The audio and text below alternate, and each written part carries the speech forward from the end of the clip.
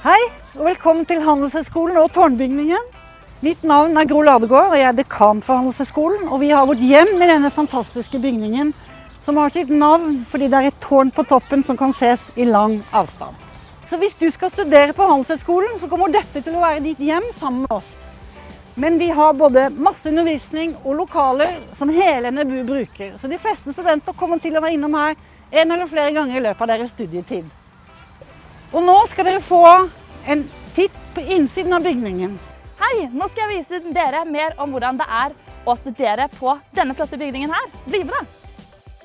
I første etasje blir du møtt av en fantastisk foajé med hovedbiblioteket til NMBU.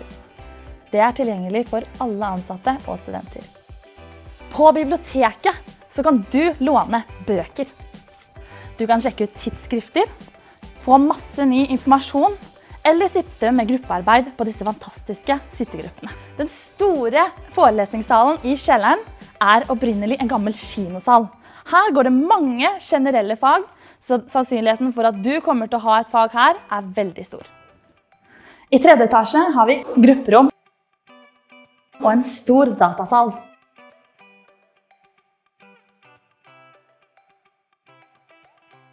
På midten av fjerde etasje finner du store forelesningsrom. Her. Og her.